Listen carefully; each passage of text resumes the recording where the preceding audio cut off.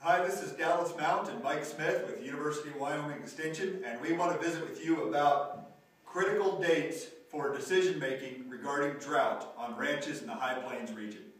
We think there's three critical dates that most ranches should evaluate their forage production situation on and make management decisions that are tied to each of these dates. The first of those would be the first part of April. At the first of April, we have a pretty good idea what the mountain snowpack and runoff situation is going to be, and we can look at our soil moisture and 10-day uh, weather predictions uh, at that point. So the, the story is starting to unfold as to what type of uh, forage production year we're going to have.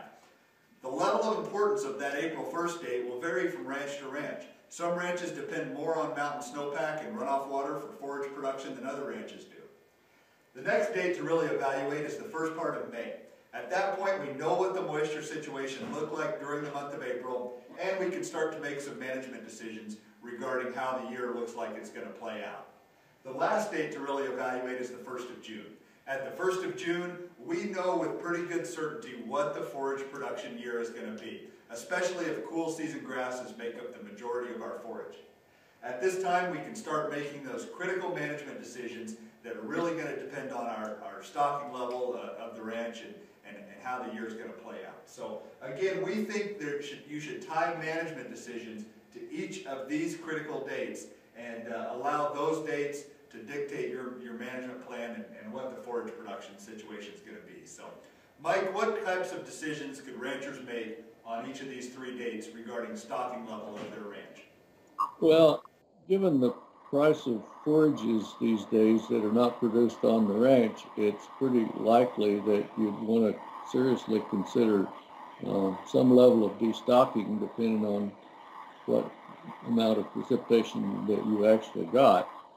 Um, in a more flexible kind of operation, you might have some stockers to get rid of. Uh, certainly culling much deeper uh, than ordinarily think about doing would be a uh, reasonable prospect but seriously there's little economic value to trying to hold on and feed cattle through uh, the summer of a drought. Um, so finding alternative forages may be an option uh, if you know someplace that you can you can find some of those. But forages are a little bit tough to get a hold of this year, so I understand. Um, leased, leased forages, that is. So destocking is probably the major thing that you're going to be thinking about. So that destocking plan will look different for every ranch depending on what type of livestock you have to work with and whether you have just cows or cow-calf yearling or some other type of flexible livestock that will give you the ability to adjust as the forage production season begins to unfold tied to these specific dates. Mike, I think another important component is to have this drought plan written down. And it's best to have a written plan that is tied to the critical dates that are of most importance on your ranch. And another part that plays into that is getting the right people around you and gathered at the table to help develop that plan. These plans tend to have a lot more buy-in from all those involved in the ranch if they're involved in creating them. So again, I think the important things are write the plan down, tie it to these critical dates, and involve all the people in the ranch in making that plan. Mike, any other final thoughts on this topic?